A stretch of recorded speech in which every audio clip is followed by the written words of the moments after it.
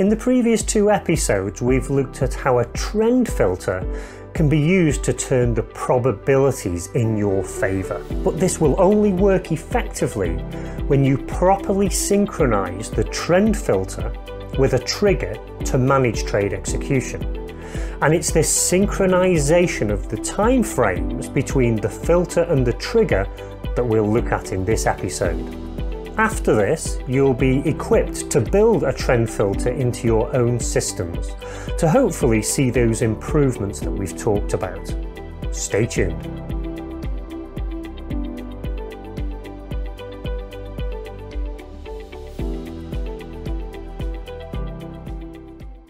Now the type of indicator that I chose to focus our attention on was the type with two lines and the specific example was the Aroon indicator. And we looked at the underlying premise or the reason this works well as a trend filter, and also we looked at the calculation behind it. And as I explained last time, it's a really simple calculation which I like in any indicator. We then took a look at some real charts to illustrate how the indicator worked and how it gives us the information about firstly the trend direction, but also the trend strength.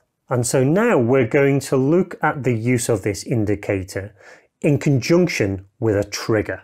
And so we're going to stick with the trigger we've been using so far, which is the stochastic. So in the top half of the screen here, you can see the price action on the one hour chart with the Aroon indicator displayed.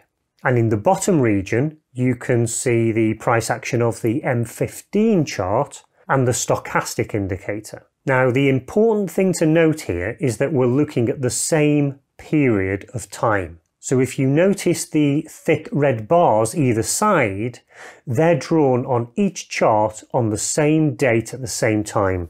So the only difference between the two price action charts is that we've got four times as many bars on the M15 as we have on the one hour. So let's focus in now on a few areas of interest on the chart.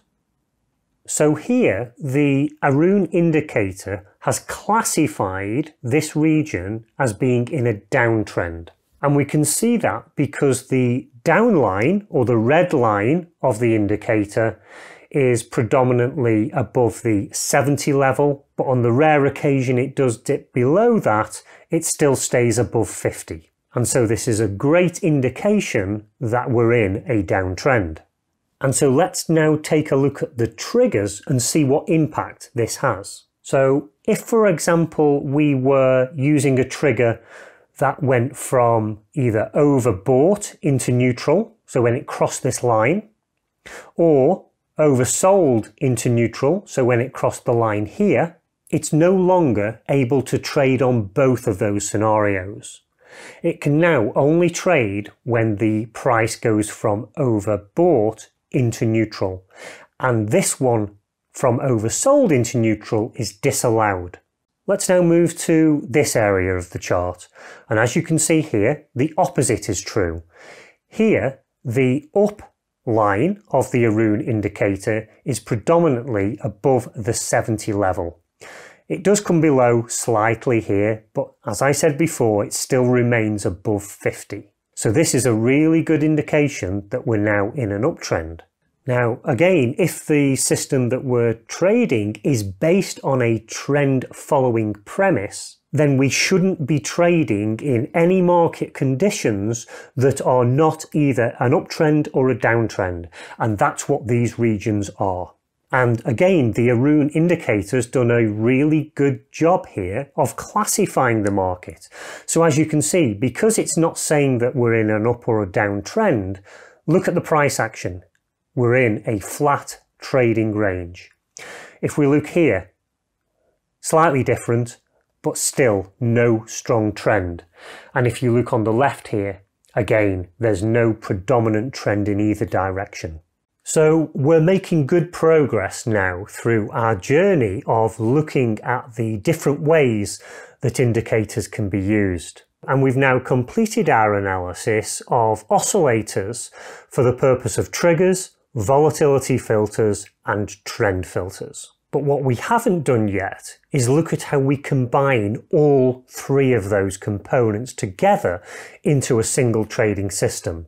And so that's going to be the topic of the next episode. And just so that you know where we're going with this in the future, we're then going to start looking at trend following indicators. So as I said, we've just focused entirely on oscillators and by looking at trend following indicators as well opens up a whole area of new opportunity in terms of building trading systems. So if that next episode where we're going to look at the combination of the trigger volatility filter and trend filter is available now, you'll see a link to it right here. If not, remember to subscribe so that you get notified when it is available. Please remember to give me a like for the video if you've got value from it. And until next time, trade safe.